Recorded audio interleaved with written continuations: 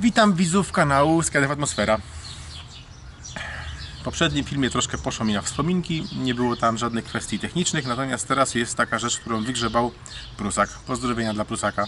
Prusak wygrzebał kwestię związaną z y, tym, z podziałem na nowicjusza, studenta, nowicjusza, na średnio zaawansowanego i na e, powiedzmy eksperta. I tutaj, jeżeli chodzi o spadochroniarstwo, wcale kwestia nie jest taka prosta, bo jedne, jedne rzeczy wynikają z licencjonowania, inne rzeczy są raczej propagowane poprzez producentów czas spadochronowych i rzecz dotyczy właśnie ob- obsługi i używania spadochronów. Na samym początku wszystko jest powiedzmy proste, dlatego że do uzyskania e, licencji pierwszej skoczek jest pod opieką instruktora i jest w grupie studenckiej, czyli jest w grupie uczniowskiej, czyli jest niejako ubezwłasnowolniony odnośnie wyboru swojego sprzętu spadochronowego.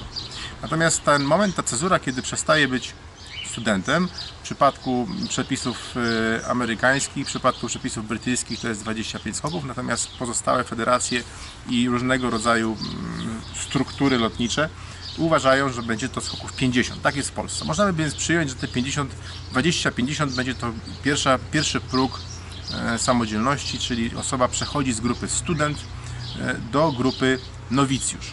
I teraz w tej grupie nowicjusz tam może być już trochę oporów wewnętrznych, dlatego że taka osoba, która dostała pierwszą licencję, kiedy ma skoków 50, ona uważa już, że wszystko wie. Oczywiście e, wy, wykluczam, wykluczam Ciebie i Ciebie i Ciebie, ale pozostałe osoby uważają, że wszystko już wiedzą, mają licencję, mają świeże spojrzenie na spadochroniarstwo, nie takie zakonserwowane jak ci, co ich tam ograniczają. Zresztą dostali prawo jazdy, więc mogą teraz sobie jeździć. I mogą sobie wybrać taki samochód, jak chcą. Rzeczy same, jeśli mają licencję, to faktycznie mogą sobie dobrać spadochron i niejako odpowiedzialność za, za dobór tego spadochronu w, w, sensie prawnym spoczywa na nich. Czyli jeżeli coś się stanie, to nie będą mieli, mo- mogli mieć pretensji do kogokolwiek, bo mają licencję, dobrali sobie zły spadochron, pierdyknęli w ziemię, są kalekami na całe życie, ale nie mają do kogo się zwrócić o to, że e, dlaczego nikt mi nie powiedział, żebym na tym nie leciał jesteśmy grzeczni, jesteśmy dobrzy, jesteśmy mili, nie, nie, nie mówimy takich rzeczy ludziom, że słuchaj, robisz głupotę, to nie jest dla Ciebie spadochron, nie? Masz, ważysz 100 kg, bierzesz sobie 170, masz skoków w stówkę, dasz radę, dasz radę, nie? Albo jeszcze lepsze przypadki, które pamiętam, co przyjeżdżał na strefę do mnie chłopaczyna, który ze swoim instruktorem przyjechał i miał spadochron, o ile pamiętam 120 i jego masa ciała była około 60, ale miał soków też około 120. No wiadomo, 120 soków, 120 pasuje jak, sam- jak sam raz. Otóż nie pasuje, więc powiedziałem mu, że nie ma szans, żeby na tym, na tym sprzęcie skoczył. Jeżeli chce sobie skoczyć w tej strefie, to może sobie wypożyczalni wziąć 190, 210, nic mniejszego. Nie przeszkadzało mu to, dlatego że ten spadochron nie był jego. Ten spadochron też, też pożyczał, w związku z tym, czy zapłaci jednemu czy drugiemu, to było dla niego nieistotne, a zwykle w wypożyczalniach brakuje tych spadochronów, w związku z tym pakuje się ludzi na spadochrony mniejsze. Otóż nowicjusz w moim pojęciu to jest spadochroniarz, który jest już licencjonowany, ale nie ma jeszcze 200 skoków. I teraz prawdopodobnie po drugiej stronie kamery ci co skaczą i są początkujący, to tam zaczyna być, o no dopierdolił, dopier- o co ty gadasz człowieku, jak to, jak to, 200 skoków to jeszcze, to jeszcze nowicjusz? Otóż tak, otóż tak. Dlatego, że w lataniu na czaszy nieistotny jest tak bardzo rozsądek, chociaż oczywiście on jest bardzo istotny w procesie nauki latania na czaszy, ile wyrobione, prawidłowo ukształtowane odruchy psychomotoryczne. I to jest coś, co powoduje, że w pewnym momencie można zredukować spadochron, latać na spadochronie bardziej obciążonym. Oczywiście istnieje duża, duża, grupa, duża grupa skoczków, która jest przekonana o tym, że jest święty wingload. I nie ma znaczenia, czy jest gościu, który waży 100 kg i leci na spadochronie 300 stóp powierzchni, a drugi leci na 150 przy 50 kg, to przecież tak samo latają. No to weźcie jednego, co waży 100 na tej 300, weźcie drugiego, co waży 50 na, na 150 i zobaczymy, czy rzeczywiście latają tak samo. Nie latają tak samo, dlatego że spadochrony będą reagowały inaczej. Inna jest masa powietrza w komorach i zresztą dla nich wszystkich są takie same cząstki powietrza. Nie, jeszcze raz nie. Do 200 skoków jesteśmy traktowani jako nowicjusze, jeżeli chodzi o spadochron. Macie prawo oczywiście wszystko zrobić. Macie prawo założyć sobie spadochron, który nie jest dla Was. Tak samo jak ma prawo kupić sobie e, motor gościu, który dostał właśnie prawo jazdy na motor i on sobie kupuje 1000 cm, szlifiereczkę, bo on nie będzie odwijał manetki, on będzie powoli jeździł, przecież on się nie będzie, przecież on jest rozsądny. Zobaczcie, jak z instruktorem rozmawia gościu, który chce przekonać tego instruktora, żeby ten spadochron jest właśnie dla niego. Nie? Bo akurat się pojawił na rynku wtórnym spadochron, kolega zachęcił, kolega mówi kup, dasz radę, jak buciki, wiesz, lepiej teraz się trochę przemęczysz, ale potem będziesz miał więcej radochy. Nie? No to on leci, pedałuje, trzeba coś, żeby takie będzie mógł latać. Nie? A instruktor mówi, no weź się puknij w głowę, to dla ciebie za małe. No i wtedy, żeby wziąć kamerę i nagrać twarz tego studenta, tego nowicjusza, bo czyli studenta, jaki on jest przekonujący. On jest tak przekonujący, jak student, który jest na ostatnim terminie, dostał pytanie, które nie za bardzo jest do niego przygotowany i wyciąga do niego rękę, zaczyna z nim dyskutować e, profesor. No i wtedy można zobaczyć, jak on chłonie każde słowo, jaka to jest, jaka to jest po prostu emanacja rozsądku, koncentracji, szacunku, wszystkich najlepszych cech.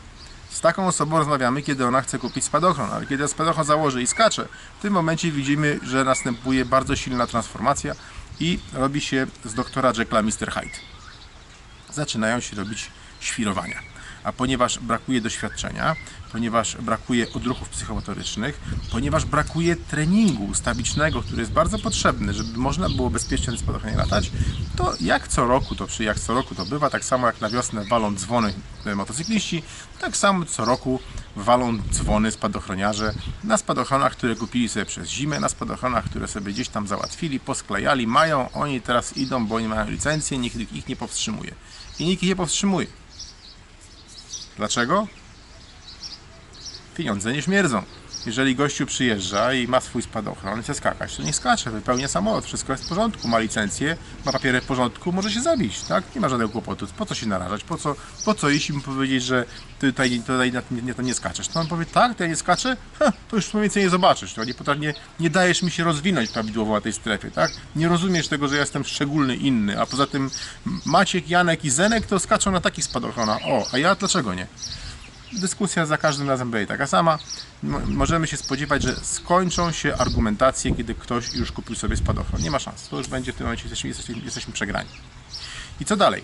Dalej, kiedy już ma 200 skoków, być może zaczyna być już osobą, która jest średnio zaawansowana. Muszę skończyć film, dograć o kiedy indziej.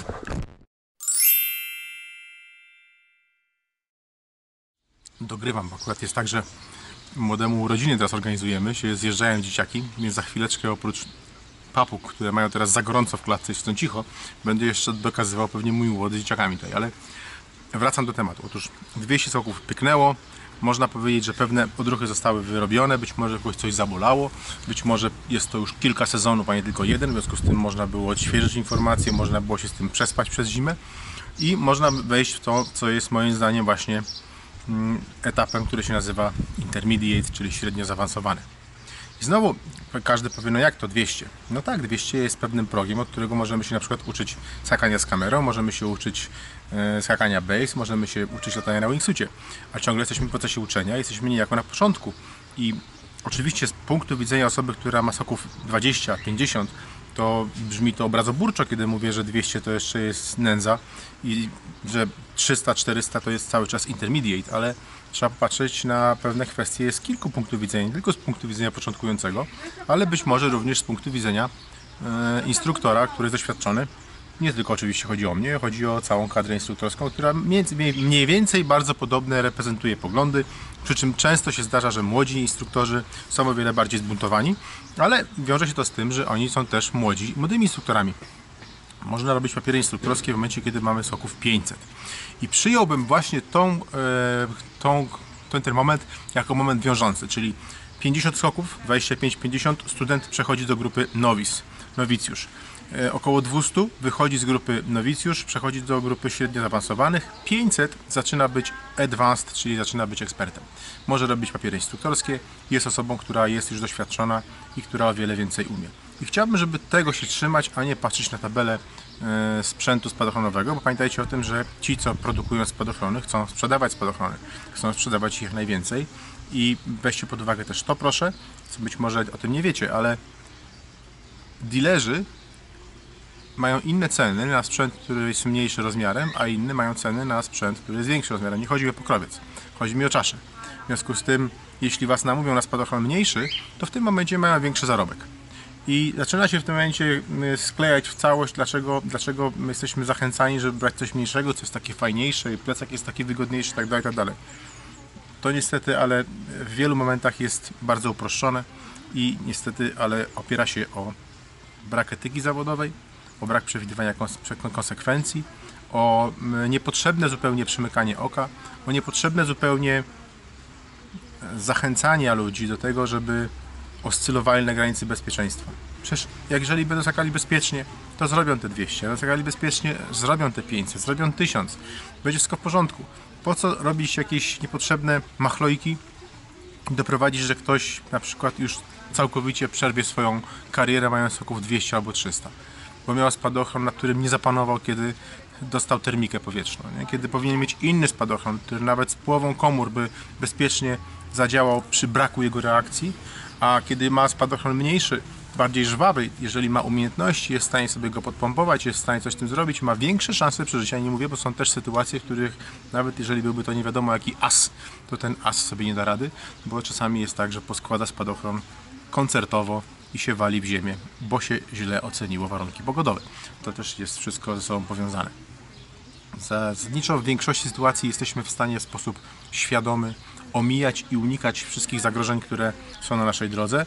Wymaga to od nas jednak nie tylko obserwacji szacunku, ale wcześniejszego przygotowania, zgromadzenia wiedzy i zgromadzenia umiejętności. Mam tu na myśli nie tylko wykonywanie pewnych czynności, ale wielokrotne powtarzanie tych czynności, tak aby sprowadzić te czynności e, z warstwy korowej mózgu aż do głębszych partii, które są odpowiedzialne za nieświadome za odruchy, to co trenujemy w sportach walki, kiedy sekwencja ruchów zostaje sprowadzana do tego, że wystarczy, że ktoś w naszą stronę kieruje rękę, a my jesteśmy w stanie, nie myśląc o tym, wykonać całą sekwencję ruchów i powalić go w straszliwy sposób na ziemię.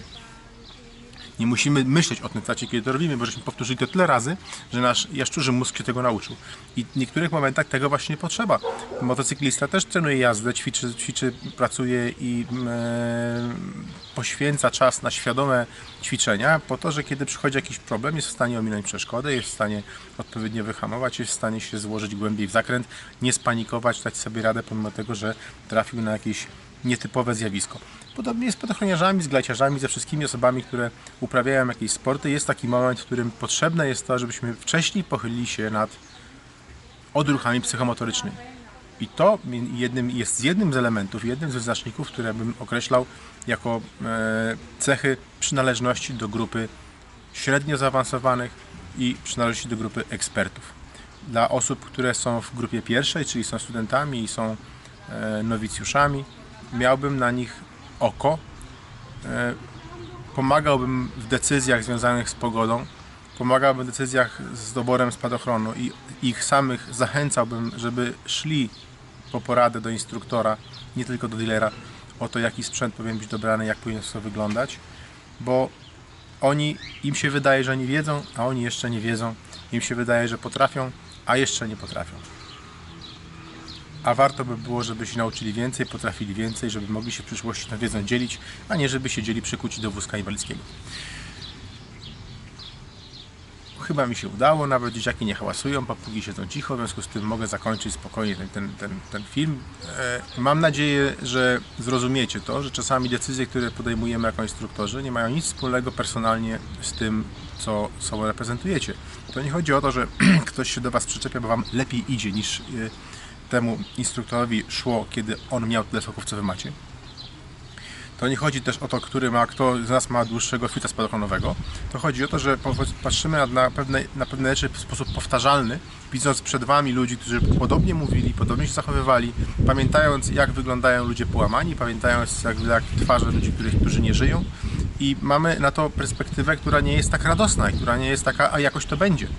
Bo jakoś to będzie, jeżeli macie licencję, faktycznie jakoś to będzie. I dla instruktora to nie chłodzi go, nie grzeje, jeżeli ma jeszcze jest twardzielem i w ogóle nie ma żadnych wyrzutów sumienia i nie ma żadnych obaw ani lęków, to jest mu jeszcze lepiej. Nie? Akurat nie należę do osób, twardo, do osób twardych, jestem miękki, nie lubię, nie lubię niepotrzebnie ryzykować czyjegoś życia, bo nie chcę go widzieć na ziemi, nie chcę go widzieć tym bardziej w trumnie, to niepotrzebne mi jest, to nie na mojej zmianie, może jechać się pławać gdzie indziej. Dobra, zwalają się, zwalają, w związku z tym będę już teraz kończył.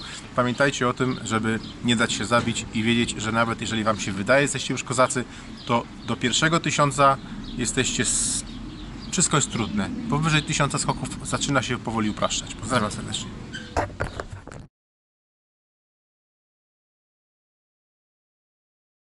Gorąco polecam lekturę.